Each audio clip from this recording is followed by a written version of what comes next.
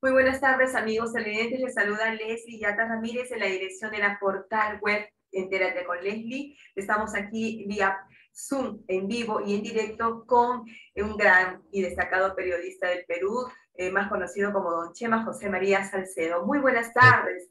Hola, Leslie, ¿cómo va? Muchísimas buenas tardes, ¿qué tal? Y bienvenido nuevamente al programa Gracias. con Leslie. Don Chema, queremos conversar con usted un tema que es muy importante para la democracia, para nuestro país, y se trata de la libertad de expresión, de la libertad de prensa. Eh, usted, como bien sabe, ya lo ha analizado también seguramente, el congresista de Perú Libre, el señor Abel eh, Reyes Cam, ha presentado un proyecto de ley, ¿no? Eh, la que establece algunos parámetros para la libertad de prensa. ¿Qué opinión le merece esta eh, de manera general este proyecto para ir entrando en cuestiones más particulares? Bueno, el proyecto, y eso lo debe saber la misma persona que lo ha presentado, no se va a aprobar en el Congreso de ninguna manera. Así es. De ninguna manera se va a aprobar porque evidentemente el Perú Libre necesitaría tener mayoría para eso y ninguna bancada que no sea la oficialista se va a querer quemar con este proyecto. ¿Por qué? Porque esto va a recibir inmediatamente el epíteto de ley de la mordaza. Y ninguna bancada quiere identificarse con la ley de la mordaza. Mi opinión es que no todos los congresistas de Perú Libre están de acuerdo con esto. Creo que muchísimos no están de acuerdo. Me parece, me parece que lo van a llamar a este congresista y le van a hacer que retire el proyecto me parece que ha sido un impromptu, ha sido una cosa que no está calculada. De todas maneras, es un arma que va a tener la bancada oficialista, el gobierno, etcétera, para tratar de arrinconar a los medios. ¿Por qué arrinconar a los medios? Para amenazarlos permanentemente. ¿Eso se puede hacer sin la ley? Por supuesto que se puede hacer sin la ley. Eh, no tenía ninguna ley de la mordaza y lo hizo en la época dorada de los titulares de la prensa chicha, eh, salían del CIN o de parte del CIN, tampoco había ninguna ley, pero lo hicieron. El gobierno Fujimori y, Montesinos lo hizo, con el dinero y todo lo demás. Pero de todas maneras, acá yo creo que es un arma de negociación. Van a tratar de arrinconar a los medios y les van a decir, te puede pasar algo si es que no colaboras con el gobierno. El presidente Castillo, dentro de su ingenuidad, o no sé cómo calificarlo, ha dicho, pues, hay que tener reuniones coordinadas. Él no sabe cómo funcionan los medios. Él cree que los medios conversan con los entrevistados, hacen pactos, cosas así. No es así. De todas maneras, creo que no, no va a prosperar la, el, el, proyecto. El proyecto, sí. Y concuerdo, con usted, esto, don Chema, y sobre todo ah. porque quisiera esto, eh, para nuestras redes sociales, que podamos reflexionar de manera conjunta sobre el artículo 4 cuando dice en casos de emergencia. Fíjense la tremenda barbaridad que, que establece este proyecto de ley, ¿no? Que el Poder Ejecutivo con carácter excepcional, dice, y transitorio, respetando los principios de, de proporcionalidad y razonabilidad, podrá asumir de manera temporal la prestación directa de determinados servicios o la explotación de ciertas redes de telecomunicaciones cuando sea necesaria para mitigar los efectos del estado de necesidad y urgencia. ¿Qué cosa nos quiere decir con este artículo? Que de manera excepcional el Poder Ejecutivo en nuestra emergencia podrá disponer. Claro, eso es una cosa que te permitiría, te permitiría como gobierno, como Poder Ejecutivo, hacer cualquier cosa virtualmente.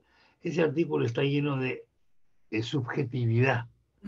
El carácter excepcional, la excepcionalidad de una norma tiene que producirse mediante un decreto, una, mediante una ley que indique estado de emergencia y una serie de cosas así. Y aún así sería inconstitucional si fuese destinada a que los medios no transmitan ciertas cosas. Una especie de censura. O, peor aún, te sacan del aire directamente y se acabó. Esto es algo que además no es constitucional. La persona que lo ha, que lo ha escrito me parece que no, está bien asesorado por un abogado, un asesor que debería tener todo congresista, ¿no? Un, abogado. Pero de todas maneras, insisto, es una forma de amenazar, una forma de amedrentar. Amedrentar a los medios de comunicación. ¿Qué es su práctica? ¿Qué es la práctica comunista? ¿Cuál es el, cuál es el claro, cuál es la, el escenario más probable? El escenario más probable es una cosa así, bueno, retiramos el proyecto, pero ojo, hay que conversar, hay que conversar, hay que conversar. Conversar, ¿qué significa? Conversar significa llegar a acuerdos entre el gobierno y los medios. Por ejemplo, ¿cómo el gobierno puede, sin necesidad de la ley inclusive, hacer lo que quiere con los medios o parte de lo que quiere con los medios? Por ejemplo, te dicen a ti, no hay sitio en el helicóptero para ti. Lo siento, pero en el helicóptero que va a salir no hay sitio para ti. Entonces tú protestas un día porque dices que te han marginado, pero al día siguiente tampoco tiene sitio en el helicóptero y entonces la gente cambia de canal. ¿Por qué? Porque quiere saber qué está pasando en el helicóptero. Eso es muy común, lo han hecho todos los gobiernos y este más. El problema de este gobierno es el siguiente, no tiene buenos comunicadores. El presidente Castillo es un mal comunicador. Él ha tenido lamentablemente una experiencia traumática con esta entrevista que le dio a este periodista Acuña salió muy mal parado porque estaba completamente impreparado para, para postular un cargo de esa envergadura. Entonces, a partir de ahí hay una desconfianza tremenda y un temor. Hay temor a los medios de comunicación. Hay temor a someterse a una entrevista mínimamente objetiva sobre temas políticos.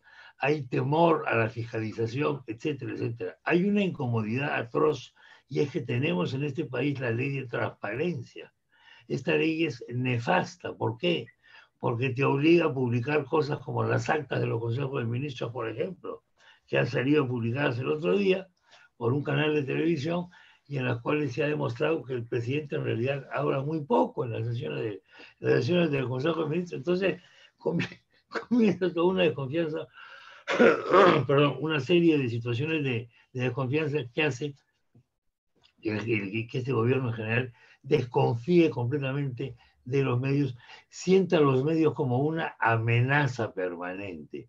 Ese es el problema. Bueno, esa es una práctica de los comunistas, de los gobiernos dictatoriales, comunistas, que no les gusta, no les gusta para nada los medios de comunicación. Bueno, ahí se han empleado diferentes sistemas, ¿no? Por ejemplo,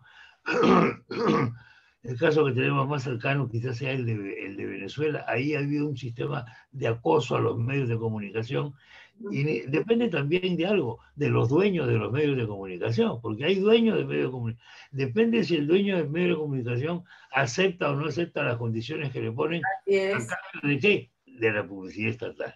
Atención con eso. Si el dueño de los medios de comunicación acepta que le pongan condiciones a cambio de la publicidad estatal, es eso, hoy ahí ya no hay, nada, no hay necesidad de dar ninguna ley, ni confiscar, ni, ni expropiar, ni absolutamente nada, porque ahí se cuenta con la anuencia del medio de comunicación por dinero. Ese es el problema. Eh, Chema, sáqueme de una duda porque escuché en el programa de Beto Ortiz, ¿no? Em, em, algunas eh, pasaron un reportaje del premier del señor Guido Bellido, en la que le contestaba prácticamente al programa Beto Ortiz, ¿no? porque evidentemente el programa del periodista Beto Ortiz es de oposición al gobierno, y le decía, ¿no? Eh, le decía, ¿cómo es posible que un canal ¿no? como Willax ¿no? Eh, esté, eh, como se dice, despotricando, sacando cosas del gobierno cuando es el Estado quien le ha dado concesiones? Pero tenemos entendido que Willax no tiene publicidad estatal. No, no, no, no, Lo que se refiere es a la se refiere lógicamente a la concesión de las ondas hercianas, ¿no? O sea, eso es pero ¿Y eso, le da derecho al Premier de poner los contenidos de un medio de comunicación? Al contrario, no podría hacerlo de ninguna manera. Lo que pasa es que la concepción que tiene Bellido y que tiene el propio Castillo también es esta cosa estatista de que el Estado concede cosas, ¿no? O sea, ellos no son en realidad republicanos, son monárquicos, en el sentido de que el Inca concede un beneficio a sus súbditos.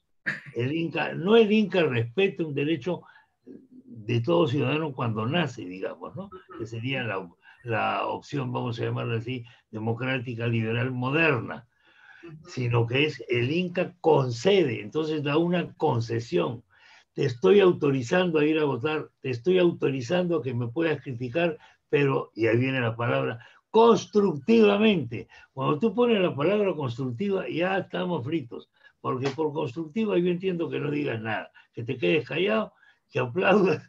O que seas el amén del gobierno. Te conviertes en un boletín de noticias, entonces ya, la verdad, no hay mucho, no hay, no hay mucho no es tan interesante, ¿no? realmente llamó bastante la atención que el Premier hablara en esos términos y demuestra, pues, lo que usted bien ha dicho, que no conocen de, medios de comunicación. si no, conocen de gobernabilidad, si no saben cómo conducir los destinos del país, ¿qué van a conocer de los medios de comunicación? ¿No? Entonces, eh, hay, hay, un tema además de su, su experiencia personal eh, como carrera. Ellos han hecho una carrera esto es un sistema de ascenso social, uno lo puede hacer de diferentes maneras. La política sirve también para el ascenso social, pero la carrera que ellos han realizado en organizaciones sociales son de carácter sindical o dentro del partido, que es un ascenso. no, eh, hay, no, hay, una experiencia, vamos a decir así, de vida de un debate, de un diálogo en el cual... Decir, don Chema, usted que es periodista de amplia trayectoria en el país, decir que una persona no tiene experiencia o no sabe gobernar o conducir no significa que seamos eternamente opositores del Señor o que querramos lo peor para el gobierno. Estamos diciendo las cosas como son. Queremos lo mejor para el país con gente que sepa hacerlo, ¿no? La democracia consiste en que yo tengo que escucharte a ti aunque te odie, y aunque te considere un maldito o una maldita. Ese es el problema de la tolerancia. El problema es la tolerancia. En Somos pertenecemos a una sociedad bastante intolerante. El Perú andino en general es intolerante. ¿En qué sentido? En el sentido de que yo comprendo que haya gente que ha tenido que ser intolerante para soportar una serie de injusticias. Sí. Pero no es el caso, debo aclarar lo siguiente, no es el caso ni el señor Bedillo ni el señor Castillo, porque ellos no pertenecen a los sectores más pobres de la sociedad. Hay que tener en cuenta esto, hay que tener mucho cuidado. Eso de que yo represento a los explotados, dame tu certificado, dame tu ADN. Tú eres comunero de 4.500 metros de altura, a ti se te han muerto tus hijos porque no tenías una posta médica, etcétera, etcétera, etcétera, como sí ha ocurrido en este país felizmente cada vez menos, ¿ah? debo decir, felizmente cada vez menos. Entonces ellos no pueden decir yo soy el, yo soy el abanderado de los más pobres. Un, un momentito. ese es un tema que ellos se han irrogado y no sé cómo y por qué. Esa es su bandera electoral, ¿no? Porque siempre dice el pueblo. El pueblo somos todos, ¿no? Claro, eso somos no, todos. y hablando de eso, justamente, eh, don Chema, en la intervención del señor Castillo ante la ONU, se presentó como un profesor rural, como un maestro que por primera vez llegaba al gobierno, habló de democracia, se comprometió a respetar los medios de comunicación y su partido de turno, Perú Libre, presentando este tipo de proyectos de ley que significan un atentado contra la libertad de expresión. ¿no? Esto, esto te quita credibilidad. Por supuesto. La gente, no es tonta. Entonces, acá hay una, tú eres muy joven, pero una época se empleaba mucho. joven. Sí, se empleaba mucho en política y en periodismo el tema de la famosa escopeta de dos cañones, ¿no? no sé si tú has visto alguna escopeta de caza alguna vez, que, se, carga con. que se, es así, se pone así, se carga con, con cartuchos de perdigones. Tiene dos cañones. Entonces, por eso, a Lapa se le decía mucho que era la escopeta de dos cañones, tenía la izquierda y la derecha juntas. Esto, entonces, este, la, izquierda, la, escopeta de dos cañones significa que tengo doble discurso, pues. Claro. Entonces, lo que yo te digo a ti, pero saliendo de tu casa, rajo de ti. Entonces, ¿no? Y, acá tenemos el gobierno y el partido. Son los dos brazos, digamos. y la posición del canciller eh, que fue entrevistado, lo vi en, en varios portales, eh, decía que justamente cuando se eh, le preguntaba al presidente cuándo se presentó este proyecto, en qué momento, ¿no? cuando ellos estaban hablando otro discurso, estaban generando otros, otros temas, ¿no? y el canciller fue enfático al decir, bueno, rescatable la posición del canciller hasta cierto punto de decir que esto violaba los tratados internacionales. ¿no? Y, es verdad, es verdad, porque hay tratados internacionales que ha firmado el Perú Claro, el Pacto Internacional de Derechos Civiles y Políticos, ¿no? la Convención Americana, etcétera. Tenemos una suerte de protocolos. Bellido, salió al toque a decirle al canciller prácticamente que se vaya, o sea, tiene la puerta abierta. Ahora, no le ha ido bien a Bellido con esto porque ya le fue mal con el anterior ministro, con el ministro de Trabajo, ¿no? Entonces, y este ministro de Trabajo no solamente no le hizo caso a Bellido, que es su jefe, se supone, sino que se fue del presidente y bajo el ala del presidente bajo el ala del sombrero del presidente, es que este hombre se ha reído de Bellido. Y no solamente se ha reído de Bellido, sino que probablemente va a significar el 30 de septiembre el primer contraste serio que va a tener el gobierno, porque se va a producir la censura de un ministro.